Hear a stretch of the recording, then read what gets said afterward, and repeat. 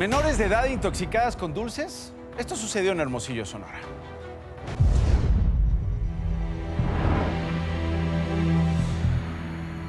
Nos hacen una llamada de que mi sobrina estaba convulsionando, entonces nosotros rápido nos vamos para allá.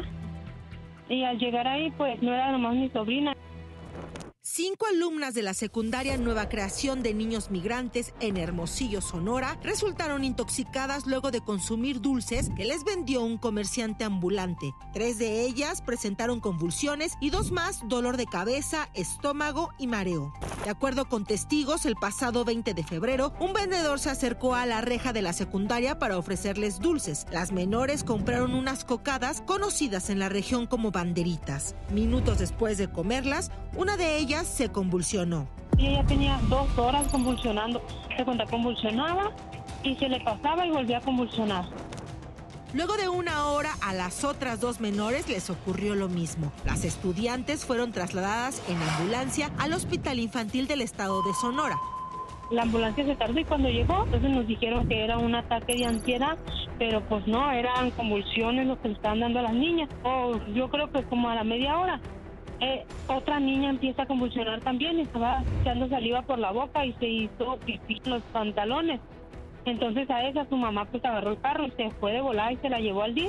Las estudiantes fueron atendidas por personal médico al presentar un presunto cuadro de intoxicación y por ahora se encuentran estables. Hicieron un antidoping, pero dicen que salieron limpios. Pero llegaron los de los, los de los ministeriales y les van a hacer otro antidoping porque no, no tienen confianza de lo que dijo el DIF. Pues ahorita ya está, ya está estable ella. Pero la otra niña que sí comió más, pues ella sí está delicada. Esta no es la primera vez que niños y niñas se intoxican con golosinas. El pasado 14 de febrero, 62 alumnos de la secundaria técnica número 9 en Zompantepec, Tlaxcala, se sintieron mal por consumir paletas de dulce en un convivio por el día de San Valentín. En ese caso, a los menores se les realizaron pruebas rápidas para detección de estupefacientes. La Secretaría de Salud local informó que salieron negativas a alguna droga. Para DPC, Pili Telles.